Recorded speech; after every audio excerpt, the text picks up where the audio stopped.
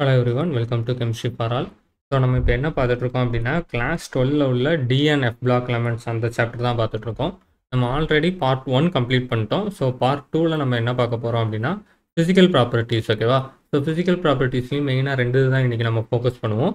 But கொஞ்சம் டீட்டெயில்டாக பார்ப்போம் ஓகேவா ஸோ இப்போ நம்ம ஸ்டார்ட் பண்ணலாம். Okay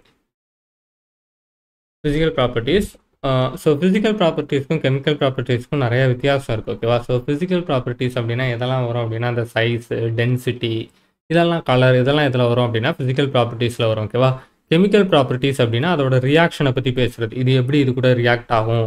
இல்லை ஏன் ரியாக்ட் ஆகாது? அந்த மாதிரி படித்தோம் அப்படின்னா அது வந்து கெமிக்கல் ப்ராப்பர்ட்டிஸ் ஓகேவா ஸோ இப்போ நம்ம ஃபிசிக்கல் ப்ராப்பர்ட்டி ஸ்டார்ட் பண்ணுவோம்.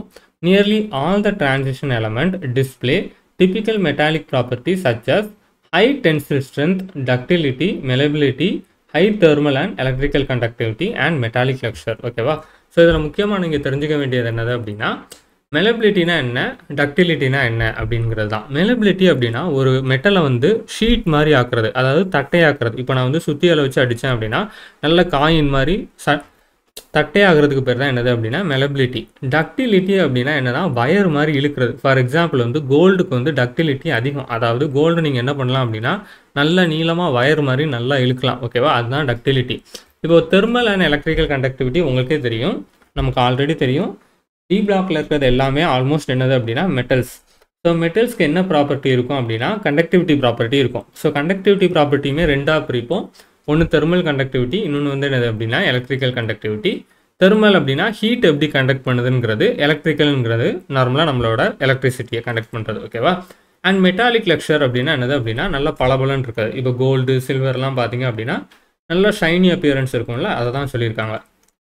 With the exceptions of zinc cadmium mercury and manganese they have one or more typical metallic structure at normal temperature ஓகேவா ஸோ இது இவங்க என்ன சொல்கிறாங்கன்னா இதில் சில எக்ஸப்ஷன் இருக்குது அது என்னென்ன எலமெண்ட்லாம் அப்படின்னா இந்த நாலு எலமெண்ட்டை இவங்க என்ன பண்ணியிருக்காங்கன்னா மென்ஷன் பண்ணியிருக்காங்க. இப்போ நான் ஆல்ரெடி நாங்கள் பார்ட் ஒன் பார்த்துருந்தீங்கன்னா உங்களுக்கு தெரிஞ்சிருக்கும். நான் ஸ்டார்டிங்லேயே சொன்னேன். நீங்கள் வந்து லெவன்த்தில் வந்து சாலிட் ஸ்டேட் அப்படிங்கிற ஒரு சாப்டர் படிக்காதனால சில வேர்ட்ஸ்லாம் இதில் உங்களுக்கு புதுசாக இருக்கும் அப்படின்னு சொன்னேன். ஓகேவா ஸோ இங்கே பார்த்தீங்க அப்படின்னா உங்களுக்கு ஒரு எலமெண்ட்ஸ்லாம் கொடுத்துருக்காங்க. ஒவ்வொரு சீரீஸில் உள்ள எலமெண்ட்ஸ்லாம் கொடுத்துருக்காங்க. அதுக்கு கீழே பார்த்தீங்க அப்படின்னா சில நேம் மாதிரி கொடுத்துருக்காங்க. பார்த்தீங்கன்னா ஹெச்சிபி பிசிசி இந்த இதெல்லாம் பார்த்தீங்க அப்படின்னா சில இது கொடுத்துருக்காங்களா? இந்த சிசிபினா என்ன ஹெச்சிபினா என்ன அப்படின்னா ஃபுல் ஃபார்ம் இங்கே கொடுத்துருக்காங்க கீழே ஓகேவா body centred cubic hexagonal close packed cubic close pack அப்படின்னா ஒன்றும் கிடையாது. இந்த எலமெண்ட் வந்து எப்படி அரேஞ்ச் ஆகிருக்கும் எந்த ஃபார்மெட்டில் அரேஞ்ச் ஆகிருக்கும் அப்படிங்கிறது தான் இது என்னது அப்படின்னா இந்த லேட்டை ஸ்ட்ரக்சர் ஓகேவா ஸோ இப்போ நான் கூகுளில் வந்து சிலது காட்டுறேன். இப்போ நான் சிலது ஓப்பன் பண்ணி வச்சுருக்கேன்.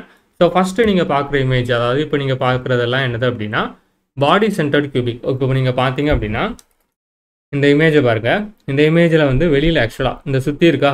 இதுதான் ஒரு என்டையர் பாடி அப்படின்னா இந்த சென்டரில் என்ன இருக்கும் அப்படின்னா ஒரு ஆட்டம் இருக்கும் ஓகேவா ஸோ பாடி சென்டர்ட் கியூபிக் ஓகேவா இப்போது இப்போ பார்த்தீங்க அப்படின்னா ஃபேஸ் சென்டர்டு கியூபிக் அதாவது சிசிபி ஓகேவா ஸோ இதில் நீங்கள் பார்த்தீங்க அப்படின்னா இதில் வேறு ஏதாவது இமேஜ் ஓப்பன் பண்ணுறேன் ஓகே கியூபிக்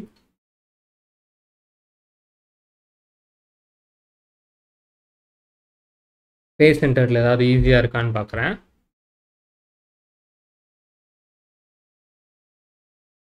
ஓகே ஸோ இந்த இமேஜை பாருங்கள் ஸோ இந்த இமேஜில்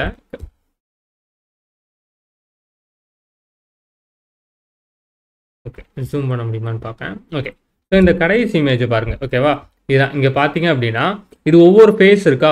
அதாவது இந்த கியூபில் மொத்தம் ஆறு ஃபேஸ் இருக்கும். ஃபேஸுக்கு நடுவில் இருக்கும் ஓகேவா இதான் ஃபேஸ் சென்டர் கியூபிக் இல்லைனா சிசிபி அப்படின்போம் ஓகேவா ஸோ இதுக்கு வந்து ஒவ்வொரு ஃபேஸ்க்கும் சென்டரில் என்ன இருக்கும் அப்படின்னா ஆட்டம் இருக்கும். அதுக்கடுத்து பார்த்தீங்க அப்படின்னா hexagonal close packing hexagonal close பேக்கிங்கிறது பேருக்கு ஏற்ற மாதிரியே அதோட ஷேப்பும் என்ன ஷேப் அப்படின்னா ஹெக்ஸகோனல் ஷேப் ஓகேவா ஸோ இது வந்து என்னது அப்படின்னா ஒரு ஆட்டம் எப்படி வந்து அரேஞ்ச் ஆயிருக்கு த்ரீ டைமென்ஷனில் அரேஞ்ச் ஆயிருக்கு அப்படிங்கிறத தான் இது மென்ஷன் பண்ணும் ஓகேவா ஸோ இதில் வந்து நீங்கள் ரொம்ப இது பண்ண வேண்டாம்.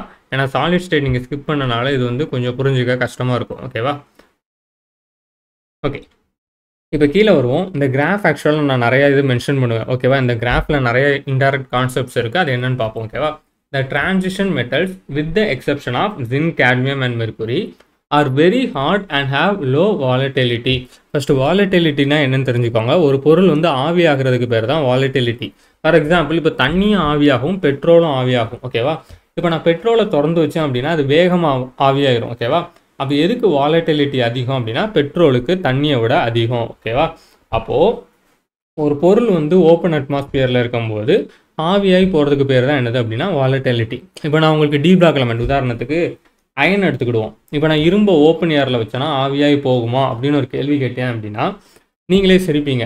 ஏன்?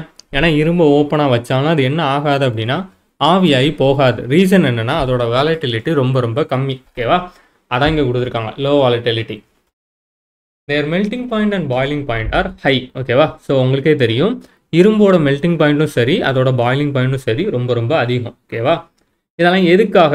இப்போது இதெல்லாம் அதிகம் இதெல்லாம் கம்மி அப்படின்னு சொல்கிறதெல்லாம் ஃபேக்ட்ஸு இப்போ நான் என்ன கேட்குறேன்னா இது எதுக்காக அதிகம் எதுக்காக கம்மி அப்படிங்கிற ரீசனையும் நான் சொல்லுவேன். ஓகேவா figure eight point one depict that melting point of the transition metal belonging to three d four d and five d series so இந்த கிராஃபை நம்ம பார்ப்போம்.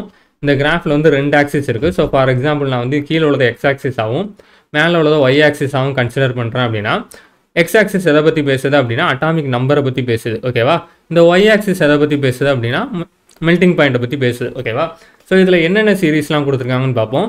த்ரீ டி சீரீஸ் டைட்டானியம் இதெல்லாம் three d series titanium vanadium chromium manganese iron இதெல்லாம் three d series zirconium niobium இதெல்லாம் என்னது? மாலிபிடனம் இதெல்லாம் என்னது அப்படின்னா ஃபோர் டி சீரீஸு அதே மாதிரி ஹாஃப்னியம் டேண்டலம் இதெல்லாம் என்னது அப்படின்னா நம்மளோட three four five d series ஓகேவா ஸோ இந்த மூணு சீரீஸும் கொடுத்துருக்கேன்னு மென்ஷன் பண்ணியிருக்காங்க. The high melting point of these metals are attributed to the involvement of greater number of electrons from n minus 1 d in addition to the ns electron in the interatomic metallic bonding. So இந்த லைனை mark பண்ணிக்கோங்க. இதுதான் concept ஓகேவா எதுக்காக இதோட melting point வந்து வேறு மாதிரி சேஞ்ச் ஆகுது இது எல்லாமே இங்கே தான் கான்செப்டாக ஸோ அதை மார்க் பண்ணி வச்சுக்கோங்க அதை நான் எக்ஸ்பிளைன் பண்ணுறேன் in any row the melting point of these metal rise to the maximum at d five except for the anomalous value of manganese and technetium and fall regularly as the atomic number increases ஓகேவா இப்போ இந்த பாயிண்ட்டை ஞாபகம் வச்சுக்கோங்க இப்போ நீங்கள் இந்த கிராஃபை பார்த்தீங்க அப்படின்னா எலக்ட்ரான் கூட கூட இதோட மெட்டாலிக் கேரக்டர் கூடி இருக்கணும். அப்போ நீங்கள் கிராஃப் எப்படி எதிர்பார்த்துருப்பீங்க அப்படின்னா நல்லா ஸ்ட்ரெயிட்டாக மேலே போயிருக்கணும். அதாவது குரோமியோட மேங்கனீஸ் கூட இருந்திருக்கணும். அதுக்கப்புறம் கம்மியாக இருக்கணும். ஆனால் ரியாலிட்டியில் அப்படி இல்லை. அது ஏன் அப்படின்னு கேட்குறாங்க ஓகேவா ஸோ இந்த நான் எல்லாத்தையுமே நான் வந்து இப்போது இதில் தனியாக நடத்துகிறேன் இப்போ நல்லா கவனிங்க. இப்போது ஸ்கேண்டியம்ல இருந்து வருவோம். இப்போது ஸ்கேண்டியம் போகிறதுக்கு முன்னாடி டி பிளாக்கை வரைகிறேன் ஸோ டி பிளாக்கை நம்ம எப்படி பிரிச்சிருப்போம்? அதை மீன் டி ஆர்பிட்டல்ஸ்குள்ளே அஞ்சு தான் இருக்கும். ஓகேவா ஆர்பிட்குள்ளே அஞ்சு ஆர்பிட்டல் இருக்கும். ஸோ நான் எலக்ட்ரானை ஃபில் பண்ணுறேன்னு வச்சுக்கோங்களேன். ஃபார் எக்ஸாம்பிள் ஸ்கேண்டியம்லேருந்து ஃபில் பண்ண ஆரம்பிக்கேன் சரி க்ளோஸ் பண்ணிட்டேன். ஓகே ஸோ ஸ்கேண்டியமோட எலக்ட்ரானிக் கான்ஃபிகரேஷன் என்ன அப்படின்னா வேலன்ஸ் அதாவது ஸ்கேண்டியமோட வேலன்ஸ் என்னது? த்ரீ டி ஒன் ஓகேவா அப்போ வேலன்ஸில் என்ன இருக்குது அப்படின்னா ஒரு எலக்ட்ரான் இருக்குது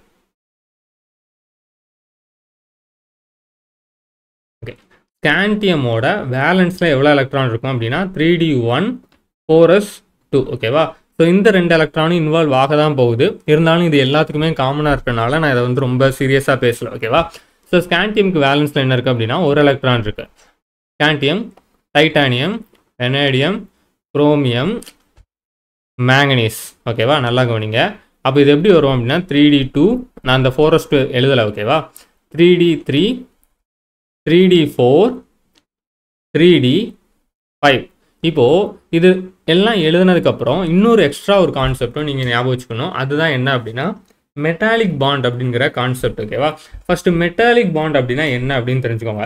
இப்போ அயானிக் பாண்ட் வேறு இப்போ அய இப்போ வந்து உங்களுக்கு ஆல்ரெடி தெரியும். கார்பனுக்கும் கார்பனுக்கும் நடுவில் உள்ள பாண்ட் என்னது அப்படின்னா கோவலன் பாண்டு இதே இது சோடியமுக்கும் குளோரினுக்கும் நடுவில் உள்ளது plus minus electrostatic force of attraction இது வந்து என்னது? அயானிக் பாண்டு ஆனால் இப்போ அயனுக்கும் அயனுக்கும் நடுவில் உள்ள பாண்ட் என்னது?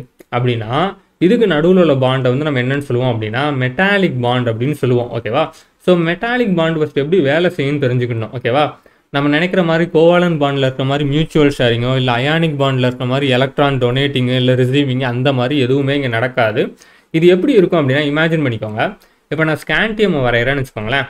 இமேஜின் ஜஸ்ட் நான் வந்து இப்போ இதான் இதான் ஸ்கேண்டியமோட வேலன்ஸ் ஆர்பிட் ஓகேவா ஆக்சுவலாக ஸ்கேண்டியம் ஃபுல்லாக வரையில. நான் இப்போ இமேஜின் பண்ணுறேன் இதான் ஸ்கேண்டியமோட வேலன்ஸ் ஆர்பிட்னு நினச்சிக்கோங்களேன்.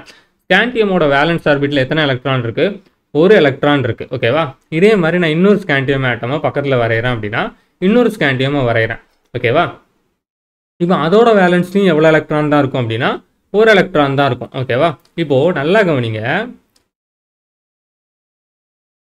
இந்த எலக்ட்ரான் அதாவது ஸ்கேண்டியம் ஒன் இது வந்து ஸ்காண்டியம் டூன்னு வச்சுக்கோங்களேன்.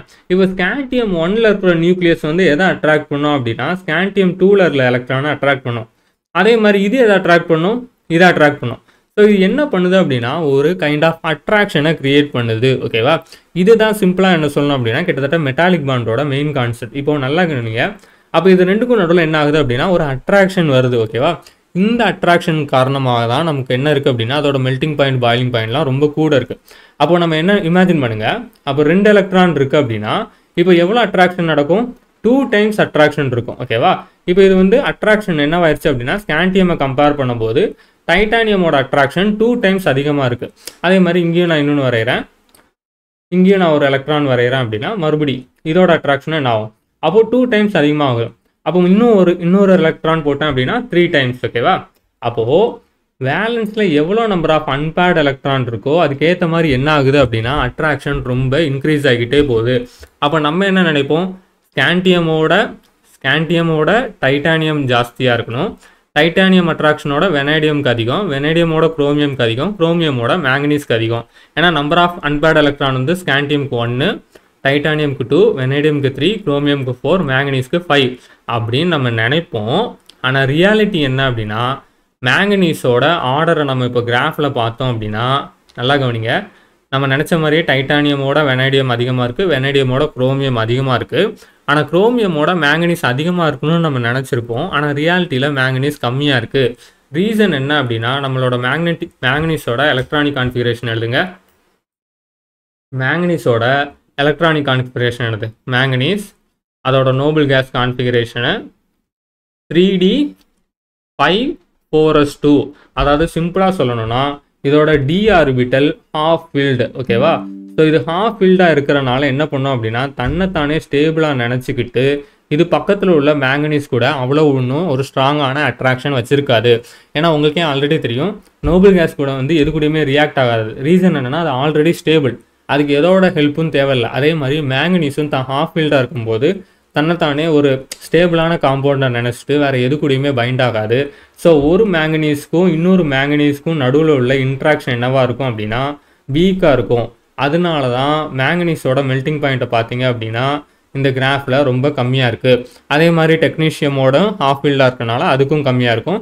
அதே மாதிரி இங்கே பார்த்தீங்க அப்படின்னா ஆரியும் மேலே இருக்க வேண்டியது கீழே இருக்குது ஓகேவா ஸோ அதுக்கு ரீசன் என்ன அப்படின்னா இதுதான் ரீசன் அதுக்கப்புறம் மறுபடியும் அயன் அப்படின்னு பார்த்தீங்க அப்படின்னா இந்த இந்த ஆர்டரை பார்த்தீங்க அப்படின்னா மறுபடியும் குறைய ஆரம்பிச்சிடும் ரீசன் என்ன அப்படின்னா இப்போ நீங்கள் மறுபடியும் அதே வித பாருங்கள் இப்போது மேங்கனீஸ் வரைக்கும் போச்சு.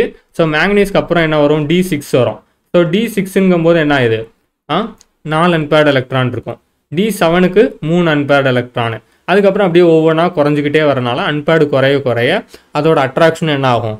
கம்மியாகிக்கிட்டே போகும். ஓகேவா ஸோ அதனால தான் கிராஃப் மறுபடியும் என்ன ஆக ஆரம்பிக்கு அப்படின்னா கீழே வர ஆரம்பிச்சிருது.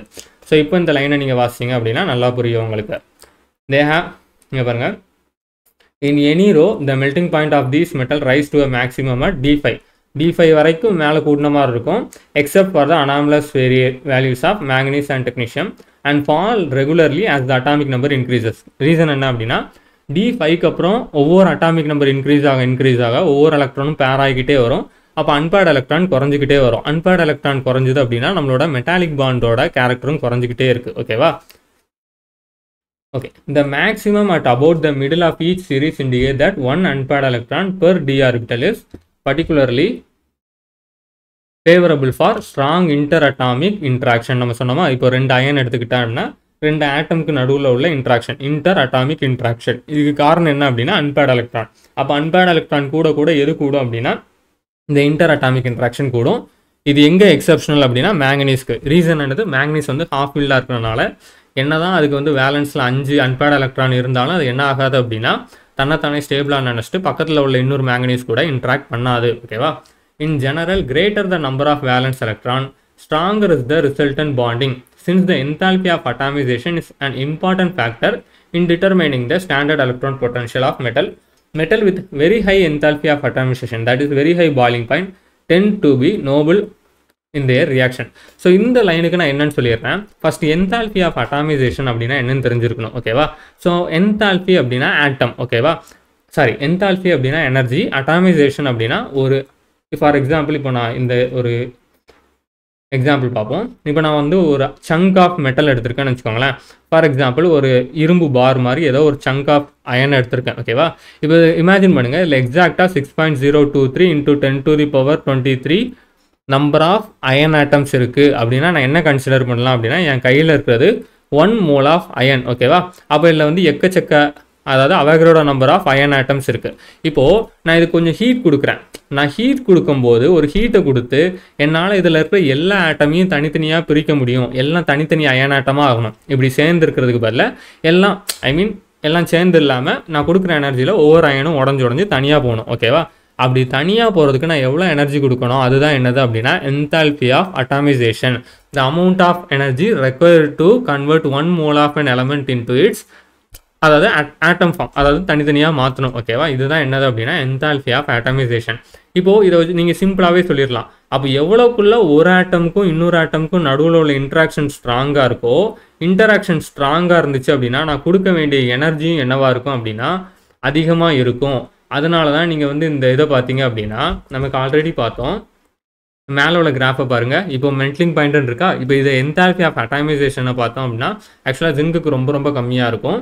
அதுக்கப்புறம் பார்த்தீங்கன்னா இந்த சில்வர் இந்த மேங்கனீஸ்க்கும் ஓரளவு கம்மியாக தான் இருக்கும். ரீசன் என்ன அப்படின்னா ஒரு ஆட்டமுக்கும் இன்னொரு ஆட்டமுக்கும் நடுவில் இன்ட்ராக்ஷன் என்னவா இருக்குது அப்படின்னா வீக்காக இருக்குது ஓகேவா அது மட்டும் இல்லாமல் இவங்க என்ன சொல்லியிருப்பாங்க அப்படின்னா இது வந்து ஸ்டாண்டர்ட் எலக்ட்ரோட் பொட்டன்ஷியல் கூடயும் இது வந்து லிங்க் ஆயிருக்கும் அப்படின்னு சொல்லுவாங்க.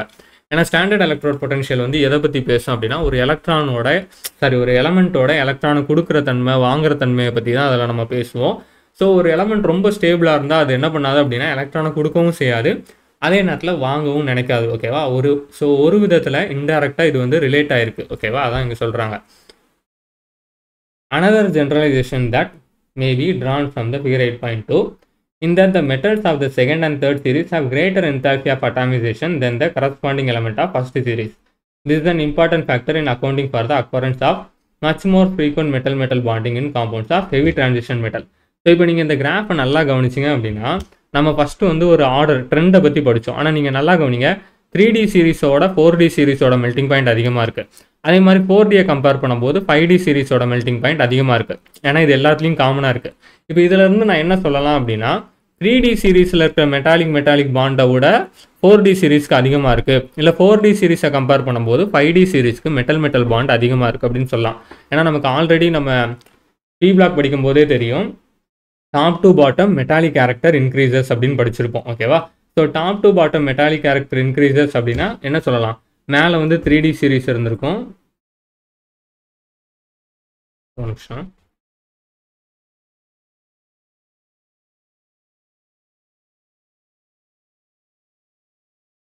ஓகே ஸோ நமக்கு ஆல்ரெடி இது ஜென்ரல் ரூல் தெரியும். Top to bottom metallic character increases ஓகேவா அப்போது மேலே என்ன இருக்கும்? First starting three d series இருக்கும். த்ரீ டிக்கு அப்புறம் ஃபோர் டி ஃபோர் டிக்கு அப்புறம் என்னது அப்படின்னா ஃபைவ் டி சீரீஸ் அப்போது டாப் டு பாட்டம் என்ன கூடும்? மெட்டாலிக் கேரக்டர் இன்க்ரீசஸ் ஓகேவா இன்க்ரீசஸ் அப்போது மெட்டாலிக் பாண்ட் எதுக்கு நல்லா இருக்கும் அப்படின்னா ஃபைவ் டி சீரீஸில் இருக்கிற மெட்டல் மெட்டல் பாண்ட் வந்து எதோட ஸ்ட்ராங்காக இருக்கும் அப்படின்னா ஃபோர் டியில் இருக்கிற மெட்டல் மெட்டலோட ஸ்ட்ராங்காக இருக்கும். அது எதோட ஸ்ட்ராங்காக இருக்கும் அப்படின்னா த்ரீ டியில் இருக்கிற மெட்டல் மெட்டலோட ஸ்ட்ராங்காக இருக்கும். ஓகேவா ஸோ இதை தான் இந்த கிராஃபில் வந்து அவங்க ப்ரூவ் பண்ணியிருக்காங்க.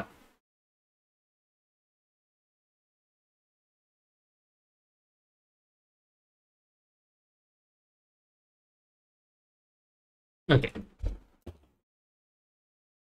அடுத்து பார்க்கலாம். ஸோ இங்கே கீழே பார்த்தீங்க அப்படின்னா என்தால்பி ஆஃப் அட்டாமிசேஷனாக தான் கொடுத்துருக்காங்க. ஸோ அட்டாமிக் நம்பரை பார்த்தீங்க அப்படின்னா இந்த கிராஃப் கிட்டத்தட்ட எதுக்கு ஈக்குவலாக இருக்குது அப்படின்னு பார்த்தீங்க அப்படின்னா இதுக்கு ஈக்குவலாக இருந்த மாதிரியே இருக்கும்.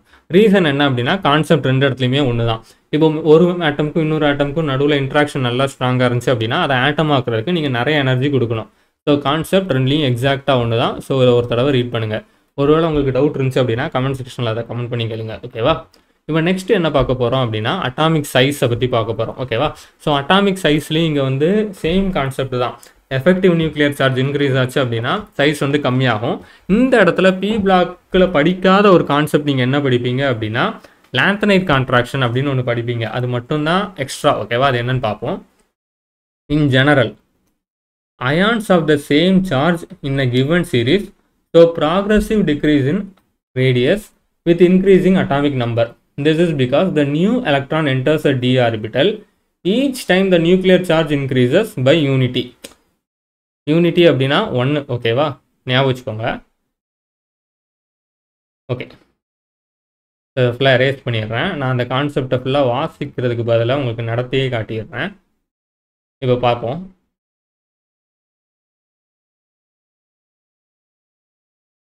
ஓகே ஸோ இமேஜின் பண்ணுங்கள் இப்போ நான் வந்து ஸ்கேண்டியம் வரைகிறேன். ஓகேவா இப்போ நான் ஸ்கேண்டியம் நான் ஆல்ரெடி சொன்ன மாதிரி சென்டரில் நியூக்ளியஸ் இருக்குது இமேஜின் பண்ணுங்கள் இதுதான் வேலன்ஸ்னு வச்சுக்கோம். ஓகேவா நான் உதாரணத்துக்கு இதான் வேலன்ஸ் வச்சுக்கிடுவோம். ஸ்கேண்டியமோட டி ஒன் சீரிஸ் ஓகேவா இது டி ஒன் அப்போ எலக்ட்ரான் எங்கே இருக்கும் அப்படின்னா இங்கே இருக்கும். டிஆர்பிட்டலில் இருக்குன்னு வச்சுக்கோங்களேன். இப்போது சென்டரில் எத்தனை இருக்கும்? எத்தனை நியூக்ளியர் ஐ மீன் ப்ரோட்டான் எத்தனை இருக்கும் அப்படின்னா டுவெண்ட்டி ஒன் இருக்கும். ஏன்னா அட்டாமிக் நம்பர் வந்து இதுக்கு டுவெண்ட்டி ஒன் கரெக்ட் தான் நினைக்கிறேன்.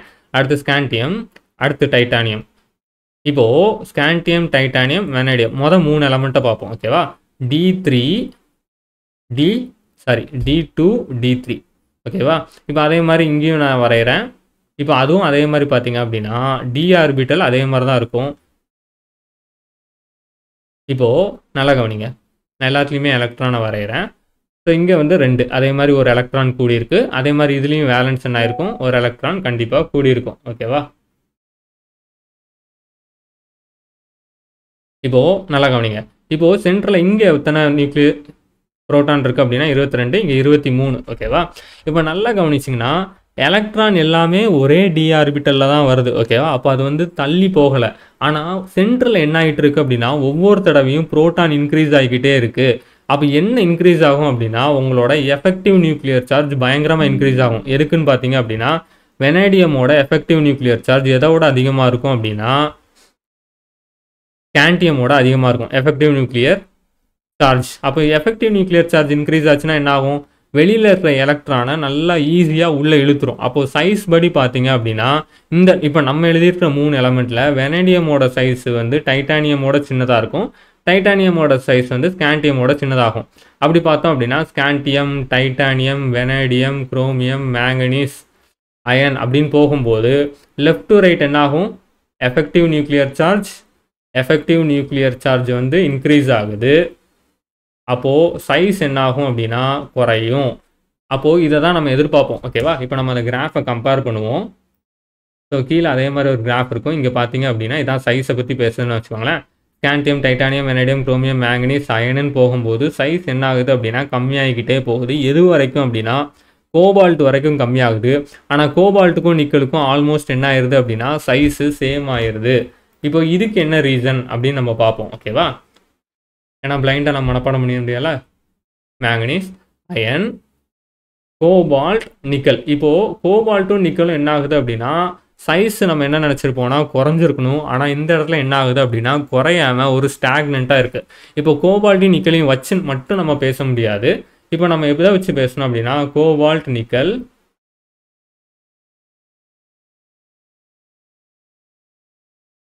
okay cobalt nickel copper zinc இப்போ நீங்கள் நல்லா கவனிச்சிங்க அப்படின்னா கோபால்ட்டோட நிக்கலோட இது வந்து ஆல்மோஸ்ட் சேமாக இருக்கும் சைஸு ஆனால் காப்பருக்கும் ஜிங்க்கும் அன்எக்செப்ட் நம்ம எதிர்பார்த்ததை தாண்டி இதோட சைஸ் வந்து இன்க்ரீஸ் ஆகிருக்கும் லெஃப்ட் டு ரைட் வந்து சைஸ் டிக்ரீஸ் ஆகணும்.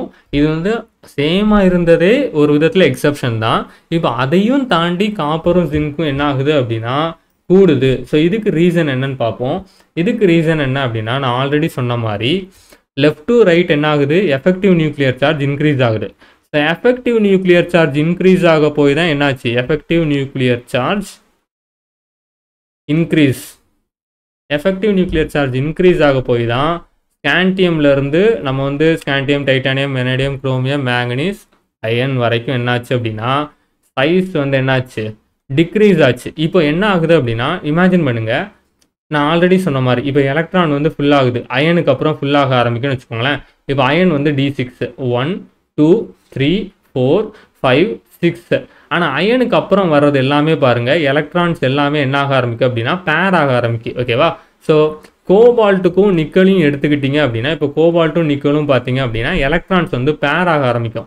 ஸோ இங்கே என்ன நடக்க ஆரம்பிக்கும் அப்படின்னா எலக்ட்ரான்ஸ்குள்ளே எலக்ட்ரான் எலக்ட்ரான் ரிப்பல்ஷன் நடக்கும் ஓகேவா எலக்ட்ரான் எலக்ட்ரான் ரிப்பல்ஷன் கூட ஆரம்பிக்கும் ஓகேவா ஸோ இந்த ரிப்பல்ஷனை குறைக்கிறதுக்கு என்ன பண்ணும் அப்படின்னா ஆட்டம்ஸ் வந்து கொஞ்சம் சைஸை வந்து பெருசாக்க ட்ரை பண்ணும்.